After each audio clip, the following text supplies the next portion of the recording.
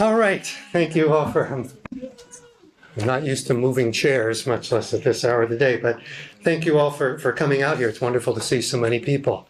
Um, My my name is Adam Braver. I'm the uh, Library Program Director, also I'm on faculty in uh, the uh, Creative Writing Program, and some of you from your first year experience as well. So we've got quite a mix in here. Um, And welcome to our first Talking the Library program um, of 2023-24. Uh, This series is endowed by alumna Mary Tefft White, uh, with her vision uh, was to bring outside voices onto the campus in order to inspire students through learning about different people's experiences um, and cultures. And today we welcome Dr. Alfred Babo. There are some people you want to know as soon as you meet them. Such was the case with Alfred, who I met through our mutual connection with Scholars at Risk, of which Alfred was a scholar at risk. Immediately, it became clear to me that I was in the company of someone with amazing intellect, warmth, presence, and with a fire in his eyes. Our interactions carried on through curious encounters, running into each other during a 2 a.m. layover in Dublin, which led to a two hour conversation. Another occasion found both of our flights being canceled at the end of a conference in New Orleans, leading to an afternoon and evening together wandering the city, and later again finding each other at yet a different layover in Charlotte, North Carolina. And less surprising, but nevertheless meaningful, in a room with student advocates at Alfred's home campus at Fairfield University. All this to say that each time I'm with Alfred, I walk away feeling as though I am a better person and a more informed person. And true, he is more than his story as an exile from Cote d'Ivoire, forced to escape after receiving multiple death threats, for having the courage to speak on the effects of the vicious civil war on the higher education community. And though that period is something I imagine Alfred will talk about, it is his experiences as a scholar, one who had to endure life altering threats and risks and danger for his ideas, that also allow him to speak with expertise on today's topic about misinformation and how it threatens democracies around the world. So, please welcome Alfred. Bye-bye.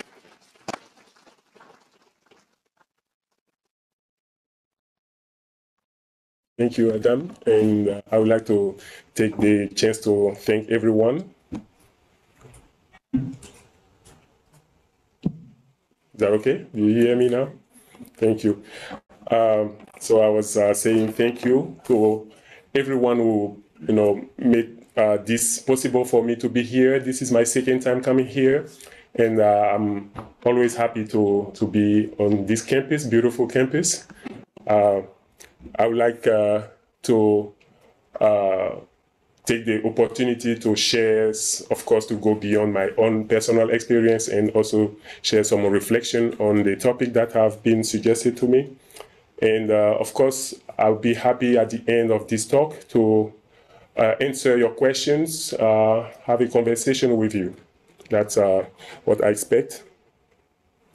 So uh, maybe to go uh, straight to the to the topic. I I, I would be uh, discussing. Uh, I should have said disinformation, misinformation, right, and propaganda, and all those things.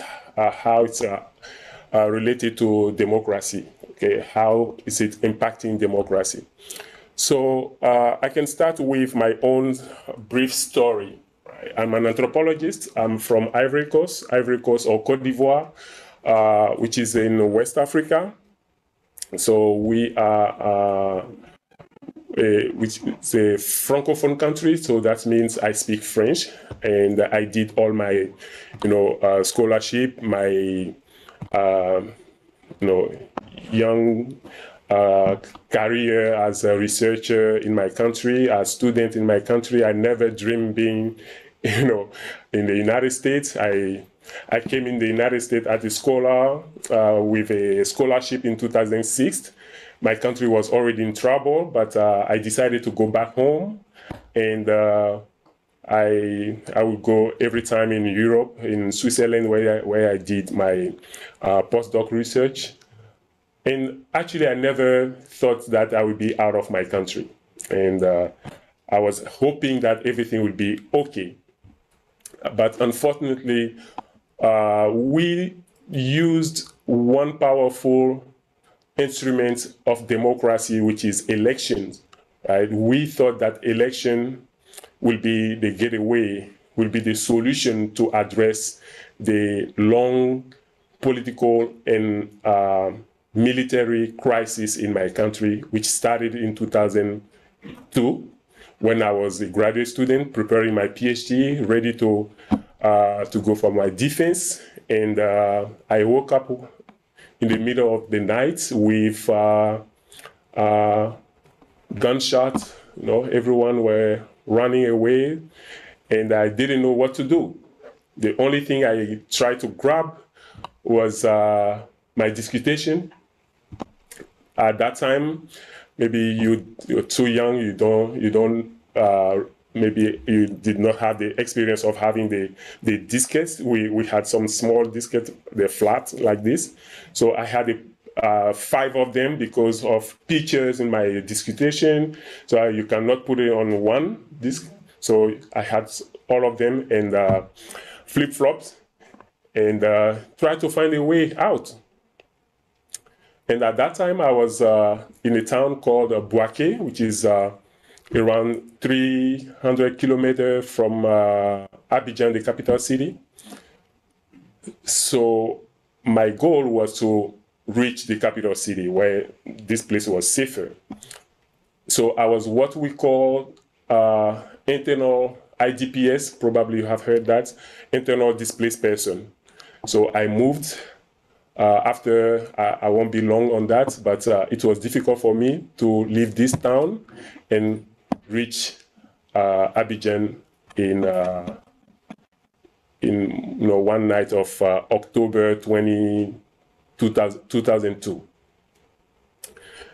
So I stayed there. I did. I got myself. Uh, I put myself uh, together after the trauma, and uh, I continued and you know did my dissertation, uh, my discussion, and then got my doctorate degree. And after that, as I said, I came to the US. I went. I traveled a lot, and I was uh, as a scholar. I was hoping that things would be you know fixed through election. So how come something which was supposed to be the one of the interesting uh, principle of democracy will instead, you know, create more trouble in the country. So in 2010, 2011, in 2010, we're supposed to hold the presidential election that will end the crisis, the political crisis in my country. Unfortunately, because of misinformation, disinformation, propaganda, then this election turned into civil war. So at that point, I was not uh, internal displaced anymore. I was then a refugee. I left, I had to leave my country with my kids, my wife, and cross the border and uh, find my way towards Ghana, uh, the east of Ivory Coast, and then uh, later in uh, a francophone country, which is Togo, uh, the capital city. So the idea for me was to avoid English because I'm a francophone, right? And I was like, uh, I'm not staying in Ghana because Ghana they speak English. I don't want to stay here. And uh, here I am, right? I, that's life. You never know. You know, I was fleeing. I was trying to avoid English country, and uh, I'm now in the United States. That's how life, you know. So now uh, I'm an anthropologist, and uh, after resisting for a couple of years, I have now to assume my role as a director of the International Studies program at Fairfield University. So that has been a long you know, way, and I would like uh, to uh, take the chance to share the, uh, this path with you. So when you are a refugee, of course, you are refugee and scholars, you have two sides of your you know your life that you have to resume with. Uh, of course, you have to catch up. You have to uh, to start over your social life and uh, take care of your own your yourself, take care of your family. But at the same time, you have to resume what's you you know your career. How do you get a job? How do you teach? And uh, for uh, a couple of years, I've been uh, thinking about you know how I connect what happened to my to me, how things like democracy have been so misrepresented in Africa that we instead of uh, being involved and take advantage of what democracy is, we are fighting, right? We're killing each other because of elections, because of the, you know.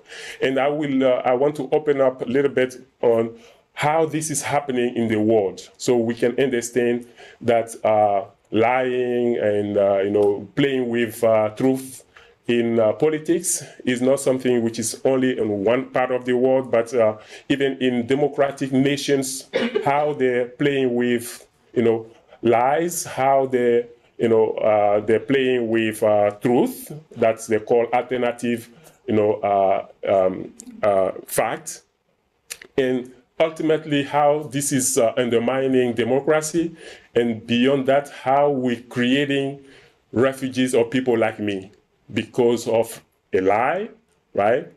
We never think that having a refugee somewhere here in our town, right, it could be based on the fact that one prominent politician lied on something.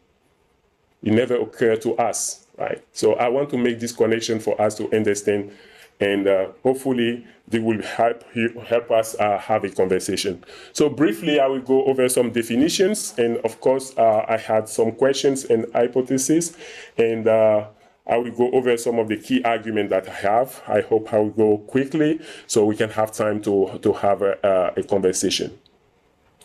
So I will go with uh, those definitions. so I see disinformation, as you can see, as the fact that we can transform the fact, right? The the the, uh, the factualization of the of the word that stems from a corrupt political institution. So the person who is already playing, you know, uh, to this with the fact is corrupt, right? The other thing that we can pay attention to is uh, how now the trend, the new trend of social media has, of course, developed this possibility of disinformation. So the way you type on your laptop or on your phone, one thing you say could be playing with a friend, right? Saying something like that, you want to prank someone, you say, you know, you write an information, something happening on campus today. Uh, maybe it was a question for you, you because you forget the question mark, right? Then it would become something which is not a question anymore, and it will go and it's for you the time to realize it's already as a actual information. Okay, so social media played uh, a lot on that, and for that you have uh, how social media used for many people to spread lies and conceal truth, and we know a lot of countries which have created and institutionalized this way of you know doing politics. Okay. Of course, then you have the political disinformation, which is uh, how disinformation is uh, something which is becoming central to political activities, right? What does it mean? So we can go further and see, you know, how um, it plays with some concrete examples. So here, for example, I'm putting here how um, a uh, in one of the articles that I shared with uh, with you that the place where disinformation has spread wide, widest and deepest is the U.S. highest level of junk news circulation. Conspiracy theories have also become viral. So one of the conspiracy theories that we know, uh, for example, in Europe, um, is related to race or the great uh, replacement. I, I, don't know if you have heard about that, but uh, with this thing that, uh, oh, these Arabs are coming to replace us, or these uh, Mexicans are coming to replace us, or these Africans are coming to replace us, right? So change the demographic of our population. Not only the demographic, but the the existence of our country, the existence of our identity. So that is how it plays. And we can see in the United States here, the election of 2016 and 2020 were very uh, interesting to see how this information works. So once we use this disinformation, it's uh, it become it, it, it, will integrate what we call propaganda based on where how it spread how quickly it spread and what kind of technology we use and with what intent that is how propaganda will play here so of course we know that it's biased but it doesn't prevent us from spreading the information sometimes we know that ah this is not accurate but you're still sharing the information right you should you know, uh, sharing that information with your friend and it's circulating. Okay, so some a couple of uh, definitions here. The historian defined propaganda as narrowly selfish, right? It's something selfish and it's uh, in the interest of a particular person or particular group. Okay, so why are you spreading or you know circulating information that you certainly know that is wrong or is not true? or you don't have any evidence to support that. Right. So, in the interest of a particular person. Propaganda is also the management of collective attitude with the idea to manipulate significant symbols. So manipulation is also something that happens here. We can also see how it's uh, an effort to create or shape things. So sometimes you know the truth, but you will add some, you know, details that will change maybe the meaning or you know the form, but uh, you will recreate the information, you will refabricate the information with a specific intent. So it's deliberately designed to influence opinions or actions. Okay. So with the development of technology, we can say now it's also integrating, you know, uh, the way we used to uh, for persuasion. Okay, to make sure that what we think, what we say is, you know, make it true, okay, by using technology. Then we can go back, we can uh, finish with democracy and try to see how it's uh, uh, something which is, uh, of course, that has been praised uh, in our uh, society today. And as I said, if it's something which is so good now, then we have to wonder why democracy, which is supposed to be you know, providing wealth, um, well-being, which is supposed to provide peace, is creating in some nations more war. Okay, how do we even bring kind of democracy with weapons, right? So think about what happened with Afghanistan, right? The U.S. thought that they will spread, democracy in this country, by sending militaries there, you know, we, we force democracy in this nation. But uh, 20 years later, nothing happened that, you know, that, that they planned. And in many African countries, as I said, we have been fighting for democracy for last 30 years, and we still have more civil wars than democratic regimes. Okay. So someone like Joseph Schumpeter says, uh, democracy sees democracy as a system in which people have the opportunity of accepting or rejecting their leaders. So we have the chance to say, you know, to say something as citizens, right? To be part, to participate and to be part of the process. And liberal democracy, so the you know that's another thing. Uh, democracy emphasizes the separation of powers, so check and balance, and different uh, uh institutions in in this uh, system. Okay, especially multi-parties party system and protection of freedom. Those are uh, really important freedom of speech and freedom of expression. That's what we see. How is it related to disinformation and misinformation? Okay, am I free to say whatever I want, even if I know that it's it's wrong, it's not true, or it has no evidence, right? Because of freedom of expression or freedom of speech, can I say that? Even if I'm aware that it could be very harmful uh, no, down the road. So that's also how we should question democracy as we, we think. One thing we have, uh, uh, I, I, took from uh, Anna Arendt's uh, paper and uh, work, that lie, lies have, be, have become part of the fabric of daily life. So if this is true, then we have, you know, we should be concerned about, uh, and it's not only for politicians, probably for all of us, right? Is it something which is part of our uh, life? So why have lies always been regarded as necessary and justifiable tools for politicians? Okay, uh, why is the search for truth? Now people are looking for truth because lies have so uh, been around us. So now we're thinking that we need to double check things. Okay, and what are the consequences of disinformation and propaganda on democracy and society? Some hypotheses, lies have always been inherent to politics, whether it's domestic or international, okay? And but have recently triggered the rise of disinformation, which is uh, acute in old and traditional democratic nations.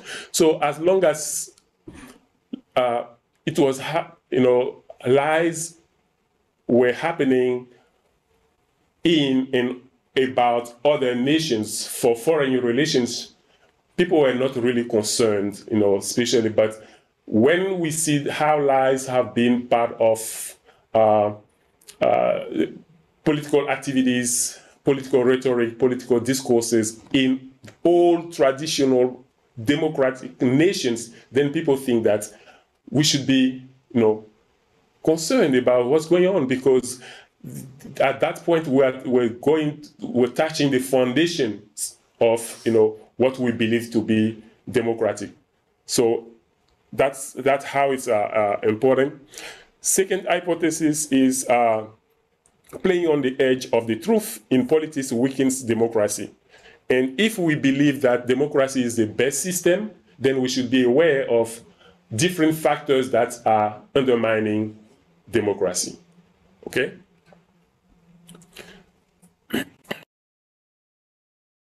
So truth and politics have never stood on common ground. So I would like to maybe uh, present a brief video here, which is a short video. And uh, maybe some of you have heard, have already seen that video.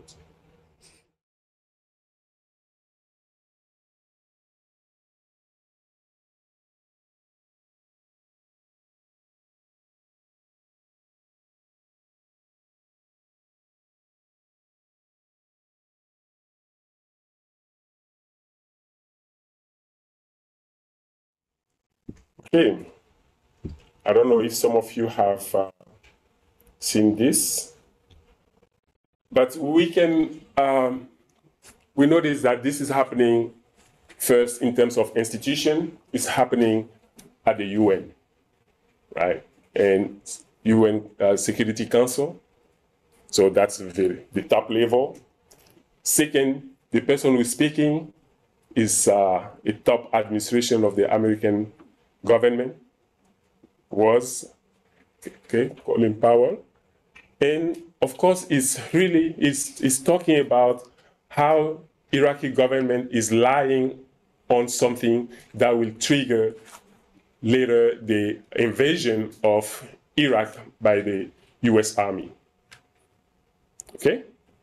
So here is the one talking about Iraq, Iraqi government lying. Then what happens year, uh, years later. Anyone has a, a thought? What do you think happens from this? No one? Wanna try? Yes, please. The invasion of Iraq? Yes, inv invasion of Iraq. Then. We were basically uh, fed lies about um, about oh WMDs and mass destruction. They, they did what? Sorry. Um, basically weapons of mass destruction and lives. Okay. So there, it happened that there were no massive, there were no weapon of massive destruction there. Okay.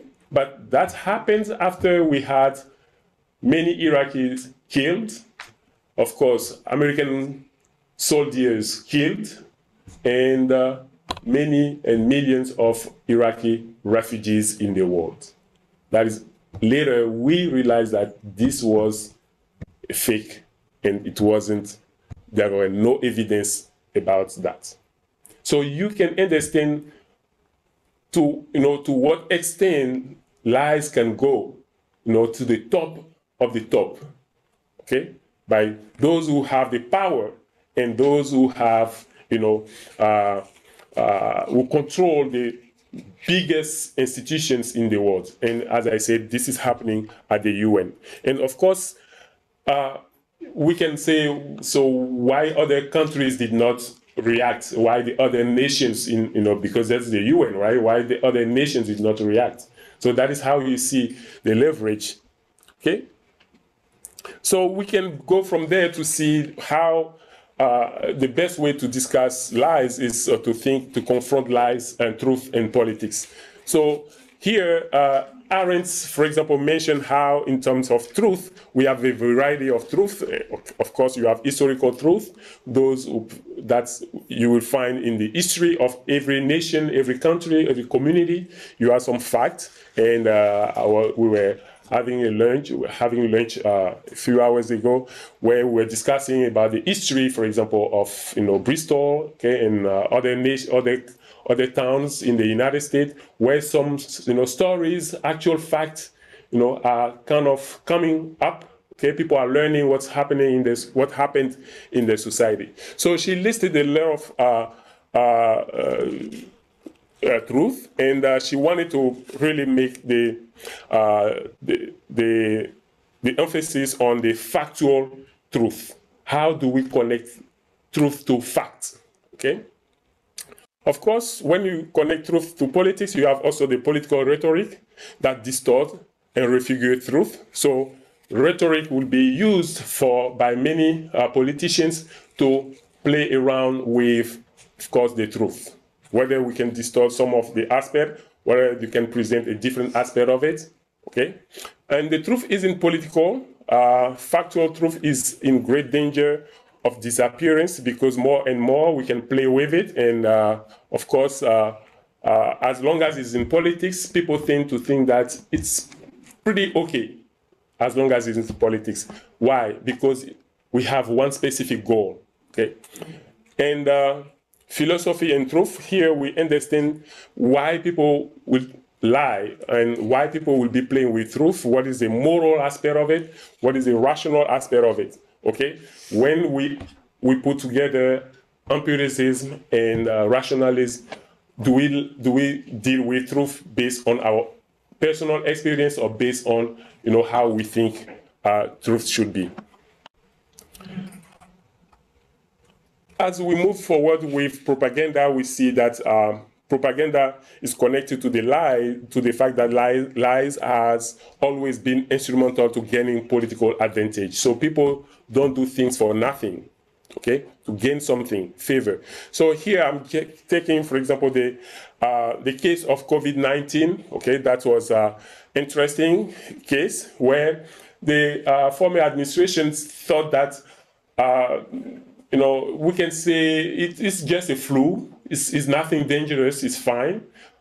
But the danger of that was the fact that it was risky for public health for all of us. And the consequence of that it was uh, the fact that we had to slow down people's reaction and all measures that we took later in this country to kind of you know slow, slow down the spread were delayed because for a long time we didn't want to acknowledge that this disease was serious.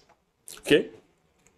Of course, during the Cold War and uh, during wartime, World War One, uh, even uh, the current war in uh, uh, between Israel and uh, Hamas, Ukraine and Russia, during wars, that's the best time for people to you know to use any, any information, any tools for propaganda, okay, for their own gain, of course, okay. The way that we tell the story will be different. And of course, intelligence services will be playing, will be used, you know, to uh, reinvent, rewrite the story about something that happened, Okay, it could be bombing.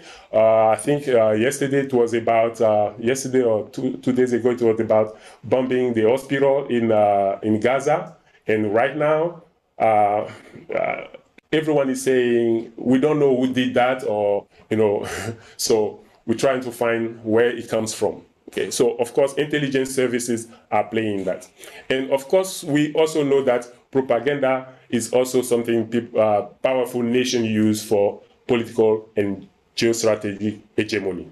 Okay, and uh, that can also play for uh, the global governance, especially for someone who come from a, a country that have been colonized uh, uh, for a long time. And uh, again, we're talking about colonization, how when the story is written by the colonizers, it's different from the, the, the, the colonized, right? Okay, those who colonize will present the beautiful part of you know what they did. Okay. Form of propaganda use uh, main, mainly three, uh, three, three, three ways. The bandwagon, okay, convince the audience to do or believe something because everyone else is doing it. So, as I said, because you spread something, you believe that you know it's true. Uh, and uh, you have the glittering uh, generality, positive meaning. Okay, we give a positive meaning. We try to give a positive meaning to something, even if we believe that we see that is is wrong. And of course, repetition is one form that people use for propaganda. Right? We repeat, we repeat, and because we repeat, we think we we we ultimately start believing it, but uh, and we are convinced that other people will also, you know, believe it. Okay. So can, repetition can go from different something wrong like uh, so when uh, think about Russia or China, the way the terms that have been, will be used in American media or European media, talking about someone like Putin, they will be talking about a dictator. Okay, so the term the term that's used to talk about the president of Russia or the president of uh, uh, China, this term means something. It's, it's not they're not just using it because they don't have any other words, right? So it means something. They want to describe it and they want to repeat it. They repeat it. So you young people, you can understand and you can connect, you know, dictatorship with this guy, right? When you, someone asks you any idea of dictatorship, of course you'll be thinking about Putin because you have heard that too much, right? In the media, the mainstream media, that's how they play. Okay. Now, maybe they're, they're right. I don't. I'm not saying they're they're wrong, but I'm saying I'm explaining how it plays, right? Okay. So disinformation and uh, uh, democracy is playing with alternative facts. Okay. So now more and more people are talking about alternative facts. So our fact would be, how can we have alternative to fact? Fact is a fact. I don't know, but uh, of course. You remember uh, the the debate or controversy around President Trump uh, uh, inauguration. Okay, they were talking about the you know the number of uh, people who attending this inauguration. They're comparing with uh, President Obama's inauguration, and there were kind of controversy about the numbers, who was kind of more popular. And some people were saying this is alternative fact, right? So you, so it's good for you to question that how fact could be, you know, can have alternative. So lies is consistent with lying and consistent lying, loss of facts. So the result is that because we're looking always for alternative facts, of course, at the end of the day, we kind of wondering where is the fact, where is the truth in these things. And uh, disinformation is also not by ordinary people, but even by leaders, institutions, you know, mainstream media, okay? And uh, it goes with manipulation, censorship, abuses, okay? And I can give more uh, example when I go to the timeline that I, I, have uh, next. And uh, of course, as I say, development of technology and the big data is also, and social media are, of course, uh, making the manipulation of information on uh, as uh, something that uh, contribute to the disinformation. So just some basic uh, examples are historical events. So, the war in Iraq and Watergate scandal, for example, that was in 1972.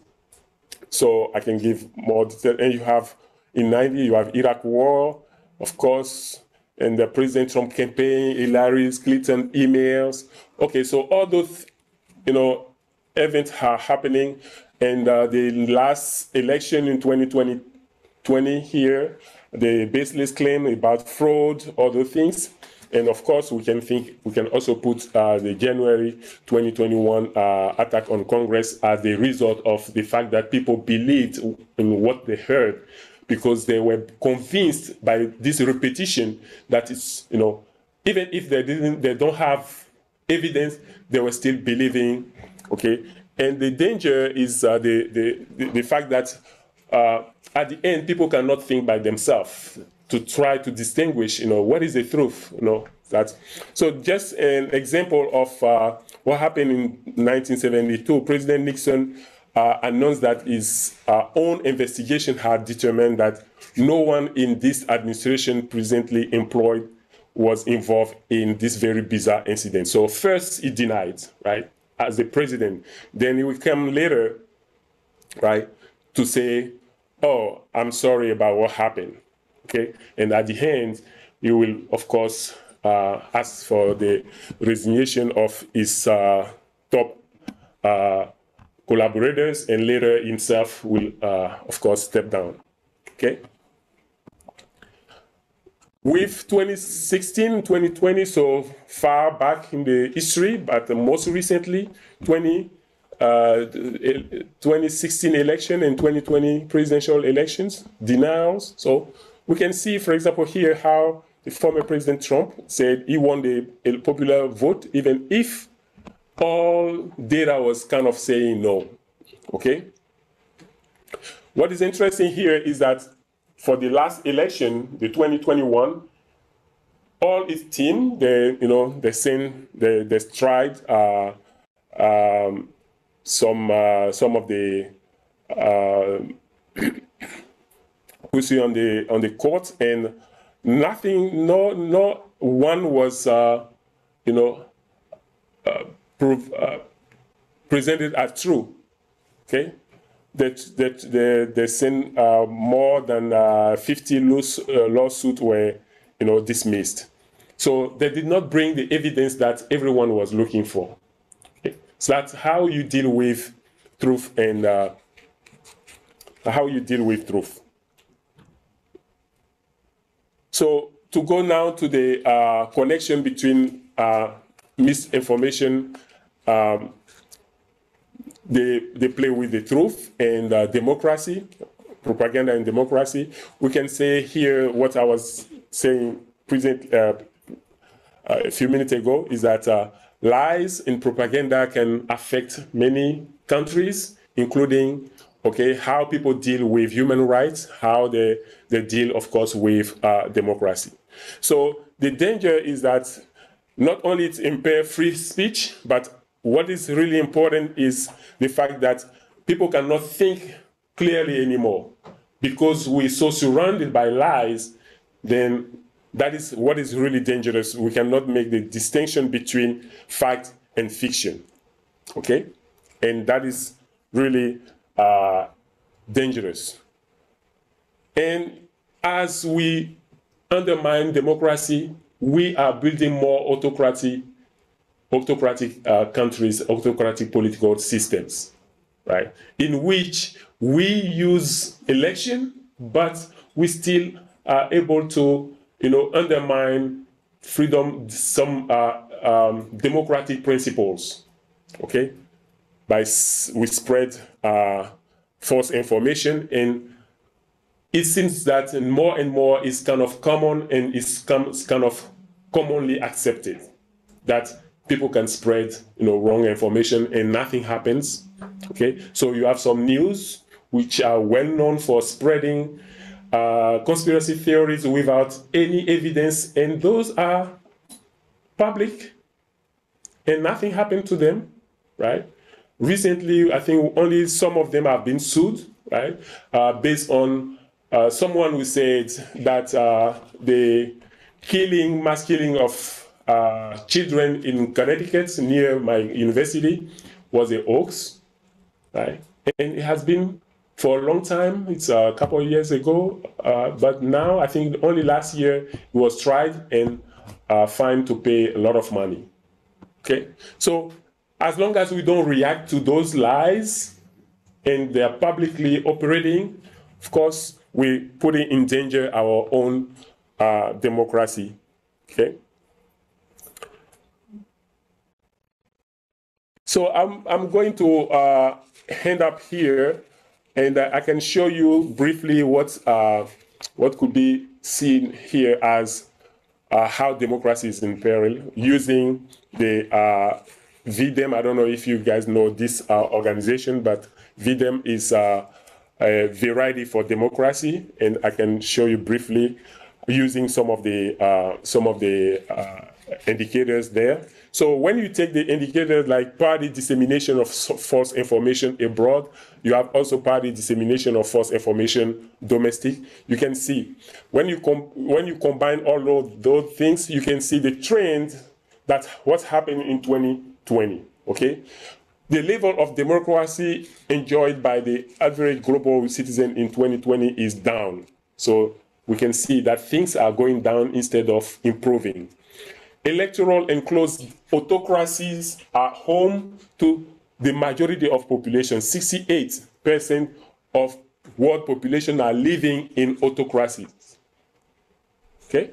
And liberal democracy diminished from 41 countries to uh, in 2010 to 32. So with obviously going down, okay, instead of increasing the number of countries embracing democracy, we're seeing that is going down.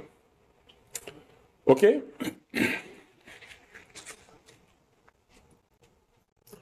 so this is just an example of uh, using some of the uh, some of the indicators that I showed you here, and I took one part of the world where people come from, okay?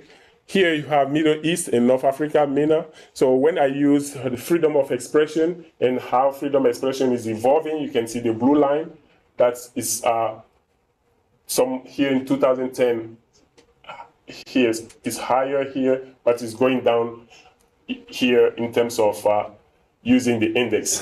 And the government action against uh, media in terms of uh, censorship, you can also see the red one, and those are below the, uh, the minimum. So you can see here in 1980, and here too is coming here, how uh, the governments are, you know, pushing and for censorship of media. Okay?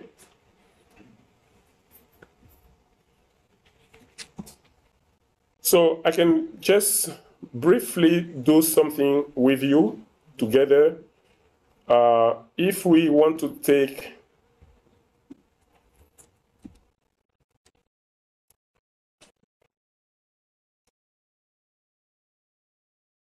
So here is a, a variety of democracy, okay? And let's say we take and this is uh, pretty open. You can uh, you can use it. Let's say we take uh, uh, let's say let's use Americas. Is that is that okay for everyone? Okay.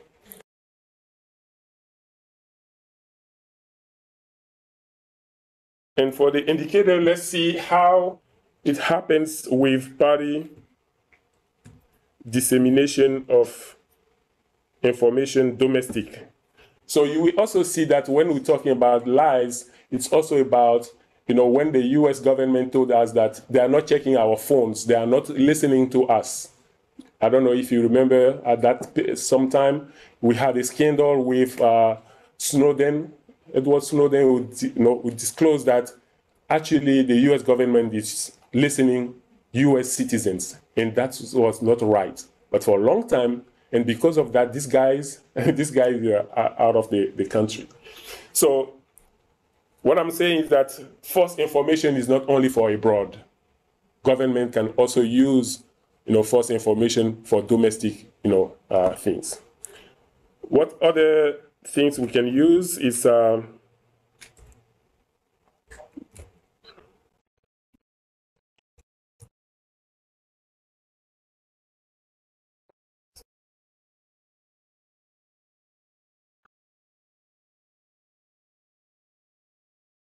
let's use corrupt uh, media.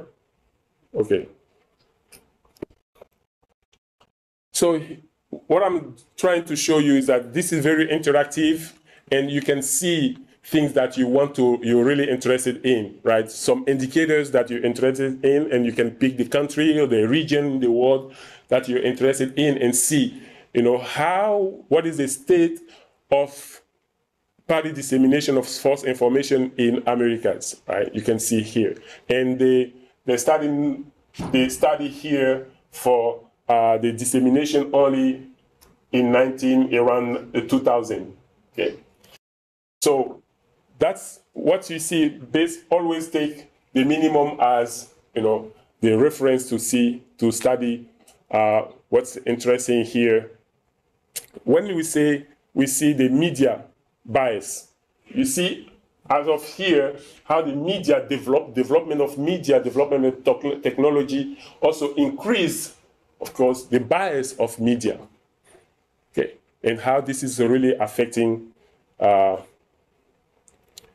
uh, if we want to add democracy, for example, democracy index, we can add to see how they're interacting.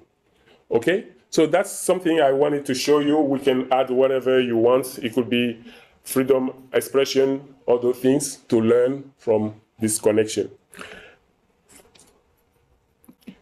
So after the, after the after the impact of lies and propaganda on democracy, I want to finish with how it's also uh, impacting us as you know human being by addressing the fact that once we start wars, right, you have people who are forcibly displaced. So that is how you have refugees in the world but also refugees in your streets, refugees in your communities, right? If you see someone here, it's not necessarily because this person wanted to leave his or her country, but someone might have played on propaganda or on lies and carry out wars in his or her country for this person to look for, you know, a safe place, right?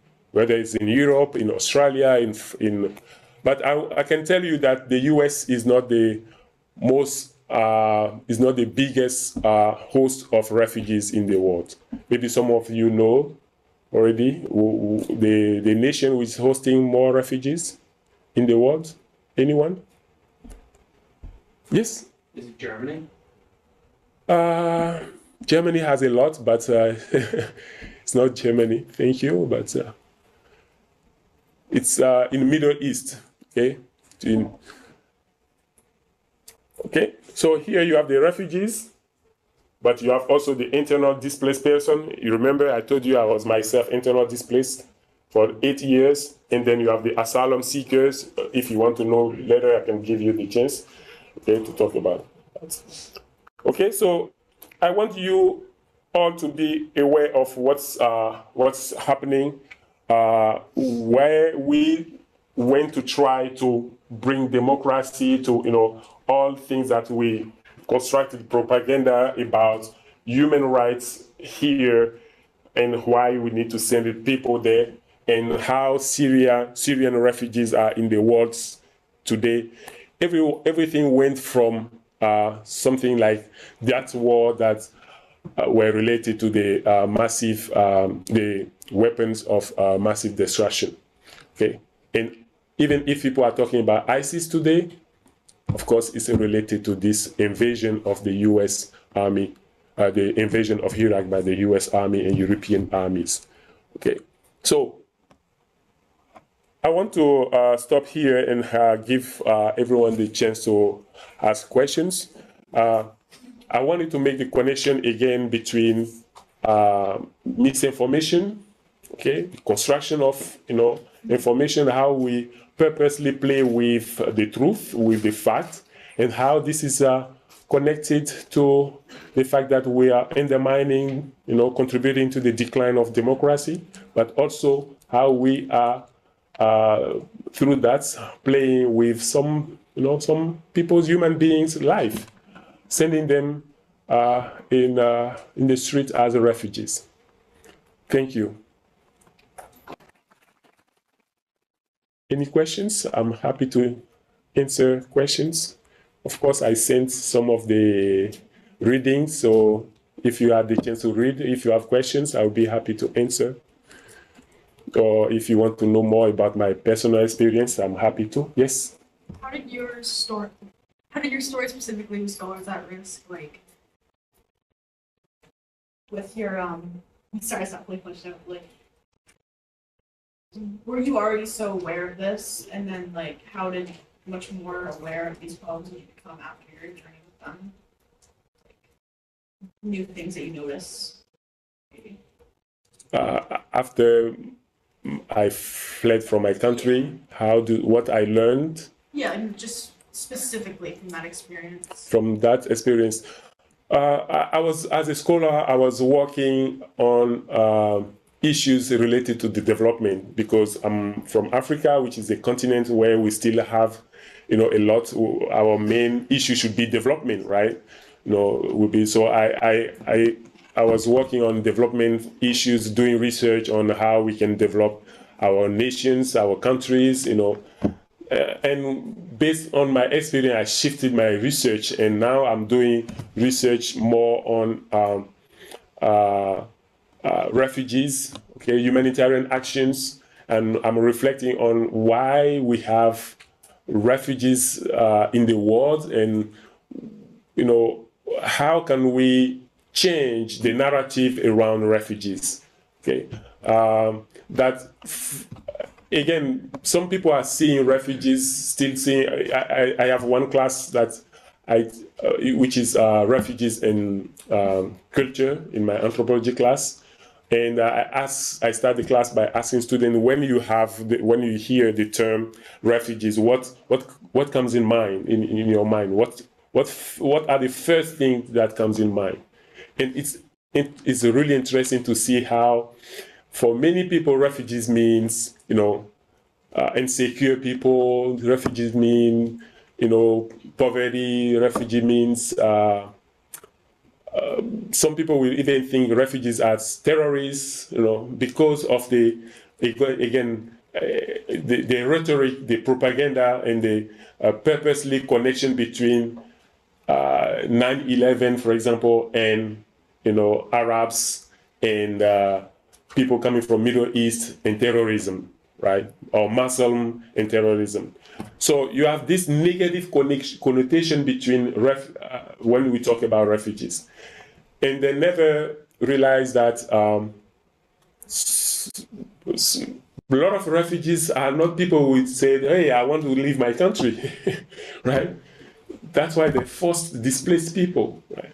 So I that's if I say if I can say that I learned something or what I'm doing as a research is to try to you know write around this narrative, how to change things, and believe that uh, I created with a, a group of uh, colleagues. We created something that we call share the platform. Share the platform. Um, we we think that many refugees have skills, they have talents, they have knowledge. You know of course, as I told you, uh, I'm, myself, I'm even sometimes surprised that I can say a correct sentence in English because I did everything in French. I learned, and I did not come here when I was 20. I came here, uh, you know, at very, you know, adult, and it's not easy to learn a new language as an adult. For my kids, it was like this, but for me, I did all my life. I was already publishing in my country. I was almost professor, full professor in my country when I came here. But I had to start over as an assistant professor. Then I'm uh, right now associate professor, and uh, that's uh, you know. So I learned from that, and uh, that things I want to I want this narrative to change. And in this share the platform initiative that I had with my colleagues, we're trying to say if organizations or institutions like your school, right, want to share the platform with some refugees like us, we have some talent that we can share with everyone.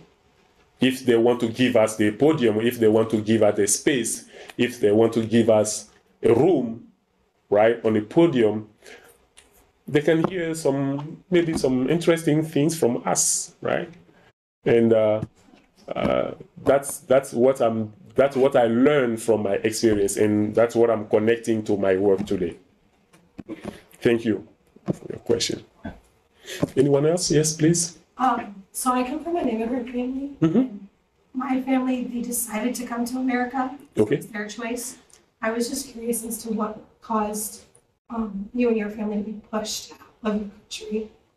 So it was basically because of the war. As I said, in 2002, I was uh, displaced from my you know, town to the capital city. So for eight years, we were in the middle of the crisis, but not war yet. In 2010, when we held the presidential election that was supposed to end the crisis, then it turned into a civil war.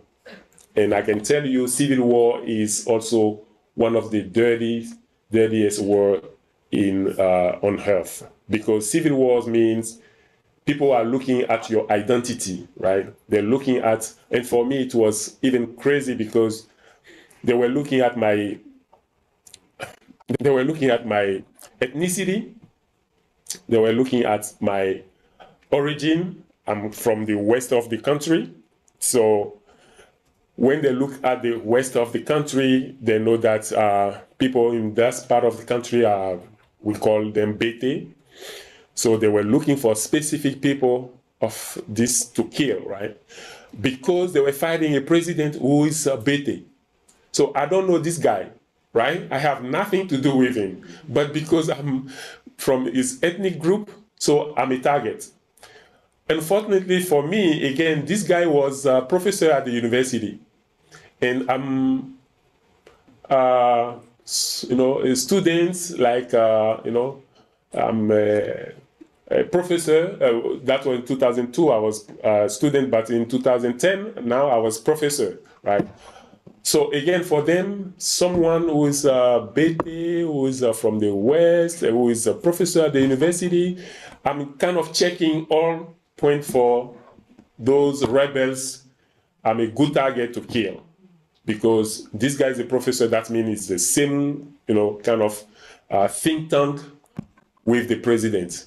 Again, I'm not from his. I wasn't from his political party. I don't know him. I don't have any connection with this guy. But that was enough. And was this guy in my country? His name is Gbagbo. Gbagbo is G B A G B O. My name is Babo. As you can imagine, in terms of sound, for for the rebels, they don't care. The difference for them, Gbagbo, Babo, is the same. So people will be tracking me down, you know, go to my house, try to, you know, get to catch me. Okay, so that's hap- that's what happened to me. That's how I had to flee with my family. Yes, thank you. Thank you so much for speaking. But I was wondering, what can we do as youth to better understand the perspective of refugees? Hmm, that's a great question. Hmm. So first, I would like uh, uh, the course that I'm, t- I'm, I'm, I'm teaching at Fairfield University is what we call a community service course. Uh, now we call the we call it uh, community learning course. So we want students to learn while taking class, learn better by being part of the process, right? and by talking to refugees because many people talk about refugees but they have never met a refugee And in my class, when at the end of the class, I asked them, "Do you have, you know, can you learn? uh, Have you have you heard about a very prominent refugee in this country, in the United States, or someone that you know was a refugee, you know, uh, but became, you know, very prominent political person or, you know, public figure?" Of course, they will list many. Anyone you know in the on campus here who is a refugee, they never thought about myself being standing before them, because for them they cannot imagine, right? You know, for again, as I say, for them, refugee is someone who's uh, you know uneducated, who has. So I thought that making the young people meet the actual refugees will probably contribute to change the way of seeing, you know, and you know, separate them uh, their, their thoughts from what they hear every time from the media, right? Uh, so that's for me. Don't be afraid of uh, making a connection with refugee communities. If we can go there, go there and learn from them, learn where they come from, learn their culture, you know, uh, try to to to to learn better about what sent them out. And that will probably change your way of seeing what refugee means and also who are the refugees. And at that point, you will see that all of us are, you know, potential refugees because it happens sometime overnight. And you have to grab just a couple of things to live. For me, as I said at the beginning, when I heard that I had to leave, you look at your house and you uh, you have maybe 30 minutes or someone say you have 20 minutes to leave the place. What do you take?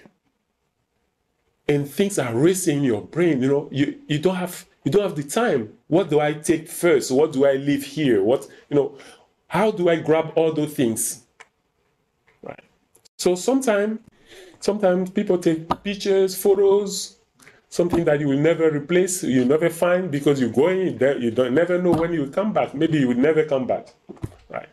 Um, when I was younger, it was easy for me. I, as I said, I, I just collected my dissertation, right? That was, uh, and uh, I left. But it's so it's so hard when you and some when you leave don't don't don't look at behind you otherwise it would be you know uh, it's it's it's hard to leave your house to leave everything you have built there and to go right? And sometimes you go without knowing where you are going. You you just go. You don't know where you're going and you don't even know what fate is waiting for you there the the other side. The point is just to save your life and then later as long as you're alive you can start over. That's the point. I hope i answer your question. Thank you. Mhm. yes please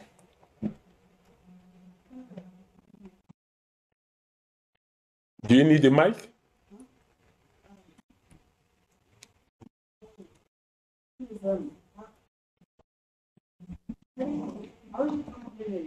telling the you know that people don't want to hear it?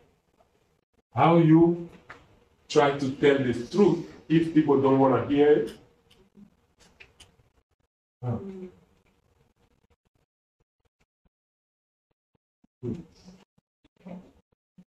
Let's see.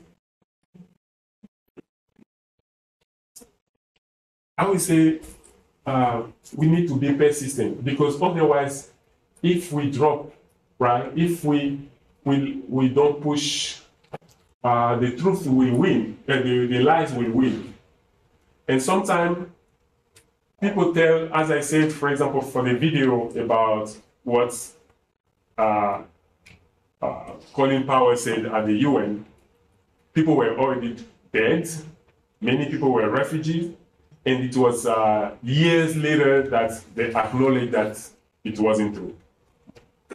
But we cannot afford to continue to do that, right? We cannot killing people and 20 years later say, oh, we're sorry, you know, that was a lie.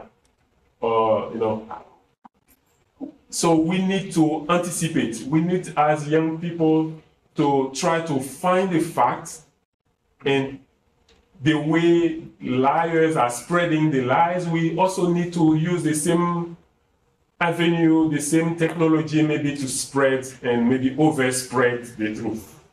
That's probably the way to do that. Otherwise, if we say, because no one wants to hear, then we're not doing anything, then we stop. I'm sorry, but right?